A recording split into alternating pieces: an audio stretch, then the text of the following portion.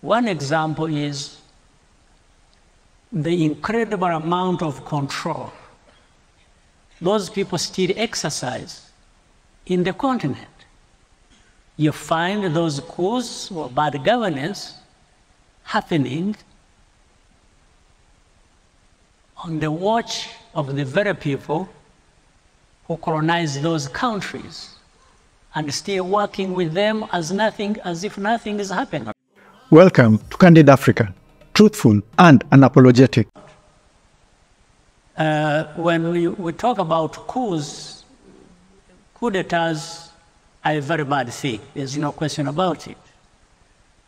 But people need to go beyond just hearing coup d'etats and look at what is the possible origin of these coups. And uh, coups also presupposes that these are just uh, military people taking over power from constitutional or civilian governments. But you have to understand also that there are some very bad civilian governments too.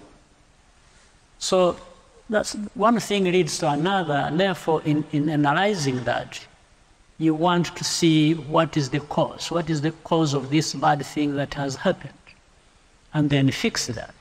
So when you look at uh, governance generally, you want to look at which place that is able to look at or look after its own people, make the very investments we are talking about so that uh, people and countries can thrive.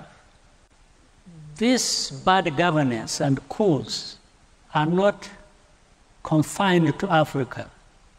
In fact, they have association with the interaction of the rest of the world, particularly those countries that, as of origin, as we know, were either the colonizers or, and even after colonial times,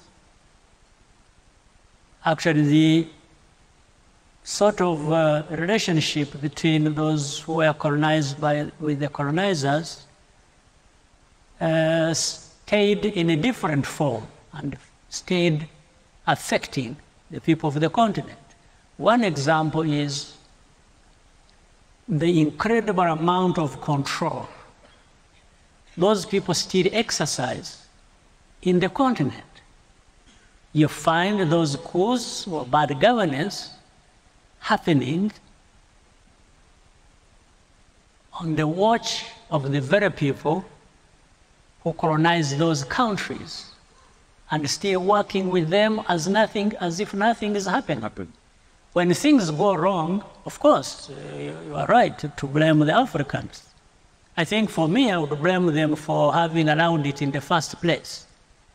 Having allowed that people from outside should come to any country, to Africa, and start telling people what to do, what not to do, and when things go wrong, they just jump the ship and start blaming uh, the very people they told to do what they did and later on backfired.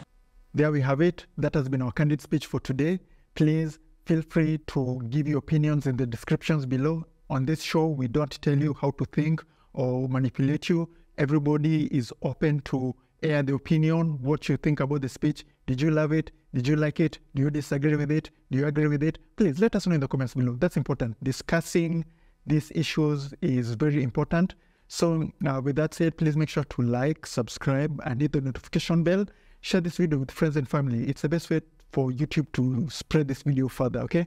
Uh, so it's been me, Mikey Mushi from Tunacheki. And always remember, Africa is watching. Please show your support by liking and sharing this video for the YouTube algorithm. Don't forget to subscribe and hit the notification bell to receive updates on our latest videos. And always remember, Africa is watching.